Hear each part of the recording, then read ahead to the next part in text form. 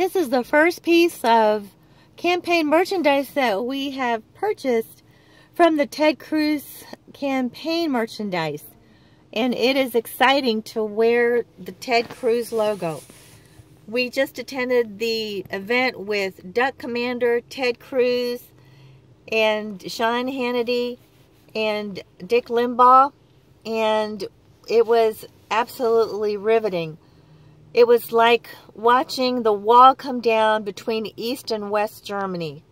That is the power and the extent of the faith and hope that were expressed at this rally. We are really praying for God-fearing leaders to take us into the next 16 years. And we are agreeing with the prayers of my mother, my precious mother, and so many others who have valued and prayed for their children and grandchildren in this nation. And we just stand in faith for the Lord to give us God-fearing leaders.